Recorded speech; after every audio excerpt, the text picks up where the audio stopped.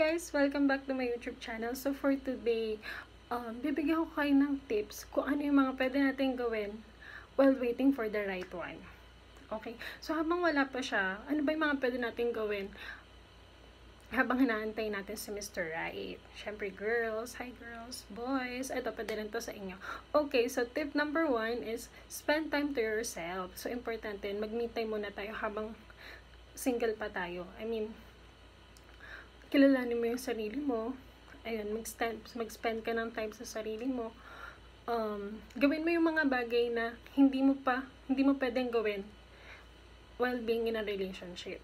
Okay, so number two, spend time with your family. So, madalas kasi syempre, uh, kapag may mga jowa na tayo, or yun, surely, kapag naging committed ka na, or naging married ka na, nagiging konti na lang yung time natin sa family natin, especially sa mga parents natin.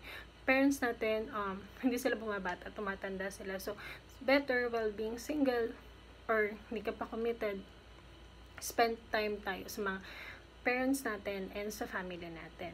Yun, quality time. Number three, number three, number three, travel alone. Yan, one of my favorite. Travel alone. Yan. Well, traveling alone, alam niyo ba, mas makikilala mo yung sarili mo. And, syempre, pag nakilala mo yung sarili mo, mas malalaman mo ano ba yung gusto mo sa buhay. Mas makikilala mo yung sarili mo. Mas may isip mo, ah, ito yung mga plans ko for the future. Ito yung mga gusto kong mangyari. Yan. Speaking of future, and number four, settle your career first. Ayan, sabi nila, hindi daw pwede pagsabahin sabayin yung career and love life. Pero the others can do. Pero since single ka pa nga, better settle your career first. Pero once na na-meet mo na si right one, okay na yung career mo. I mean, stable na yung career mo. Okay, number five. Number five. Improve yourself. I mean, kung ano yung mga weaknesses mo, try to work it out. And kung ano may yung potential sa sarili mo, i-improve mo pa. Mas kumbaga, isip ka ng way para mas paano, mas paano pa ako gagawin, gagaling sa skills na to. Ganun. And yung weaknesses natin, try natin i-work out. Kunyari, hindi ako marunong mag-swimming, katulad ko. Hindi ako marunong mag-swimming. So, try to enroll swimming class.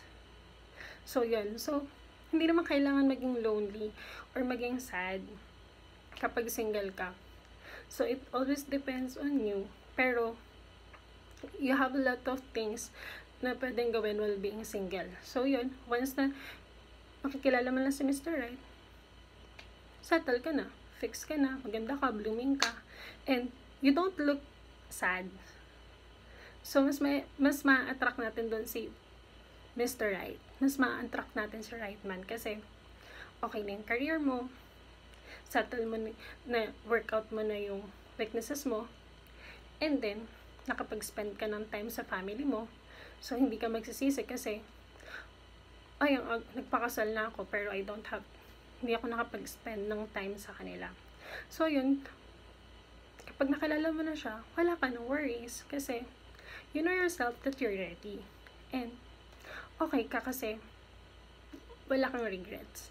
Because, uh, while being single, na-spend mo siya ng maayos. Nakapag may time ka, you spend your time with your family, na-improve mo yung sarili mo, and okay pa yung career mo. So, that's all for today, guys. So, thank you for watching. I hope you like all my videos. And, if you like this video, just put a mark, comment, and share. So, bye everyone!